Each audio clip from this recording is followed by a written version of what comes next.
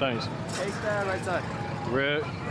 Drivers must meet the height requirements posted at the front gate.